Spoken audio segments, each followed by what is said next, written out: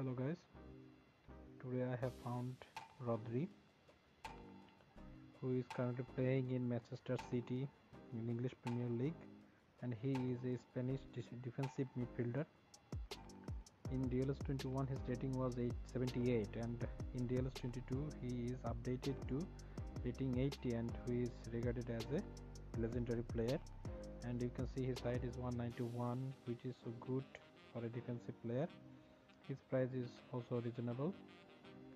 And uh, his tactical side is so good passing it to one shooting 78 and control 80 and as a defensive mid midfielder and you need this tactical side very good. And uh, his stamina is also good but his speed and acceleration is lower. But as he is a tall player uh, that will be not bad. Uh, strength 76 tackling 76 which is good. Now i will show you the comparison about the previous rating and this present rating.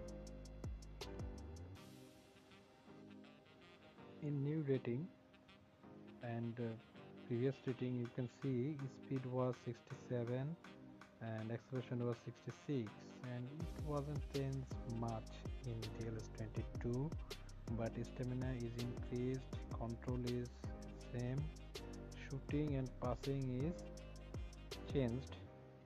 Tackling and strength is as before.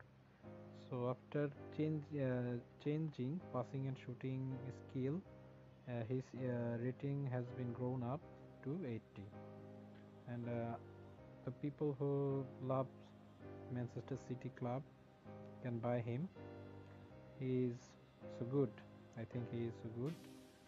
Um, thank you everyone